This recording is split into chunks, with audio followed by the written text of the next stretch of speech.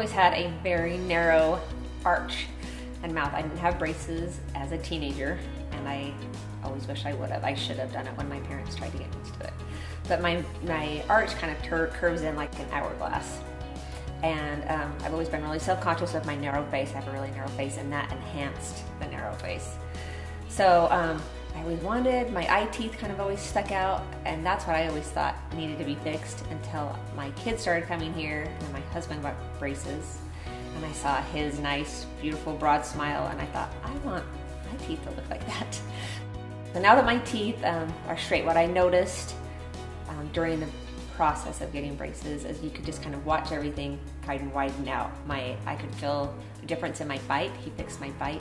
My bite's better, and um, I noticed this is kind of crazy, maybe too much information, but when I used to go to eat sushi somewhere, I could never fit a piece of a roll of sushi in my mouth. I'd have to bite it or cut it. Um, I couldn't get a whole roll. Or if I did, I was like, you know, I feel like when I smile now, I'm like, oh yeah, my smile's wide. I'm not as self-conscious to like smile and feel like my eye teeth are sticking out, and just I'm more confident when I smile. It just feels better.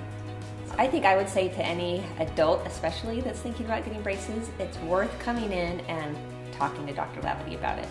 Um, I remember when I was looking for an orthodontist for my oldest child, when I new to the valley, like how do you pick an orthodontist? Someone said to me, just go and look at people's smiles that you like and just ask, who did your braces? Who did your braces? Because um, I said it's a form of art. And it was actually the friend that told me this. Her husband is an artist. Mm-hmm. And I'm like, oh, I've never thought about it that way. So I actually did go and get three different consultations by three different orthodontists, and they all had a different form of treatment. So it really came down to I liked Dr. Hlavaty's smiles that I saw in people in the street. Um, so I would say come and talk to him, look at people that Dr. Hlavaty has done, and I think you'll notice, yeah, that's a Dr. Hlavaty smile, or that's it, you know, that's somebody else's. It's worth it. I'm so glad I did it. I will say I didn't love when I had the braces on.